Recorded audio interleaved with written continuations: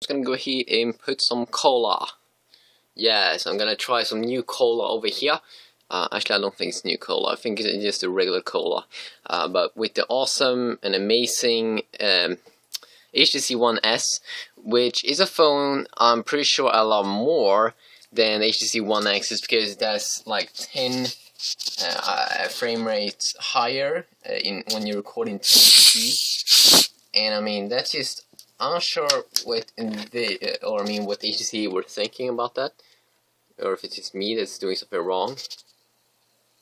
There, I tap to focus, autofocus. Okay. And I gotta say, I mean, of course, HTC is better here on the cameras uh, than like Samsung because you can go ahead and tap to focus on something. You can't do that on Samsung's um, Galaxy S2 and those other phones.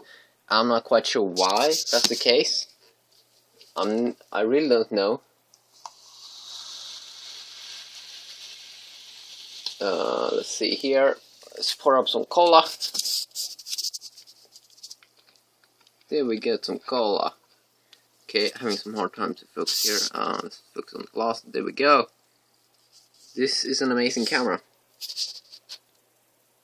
And some guy was saying that okay, no worries. Um, he when when I uh, said one S why it sucks, and that thing that seems like the color could disappear sometimes or very easy. Uh, and he was saying like, don't worry, he has the One X, and actually I think I love the One S more than the One X, just because the camera records in so much better, you know.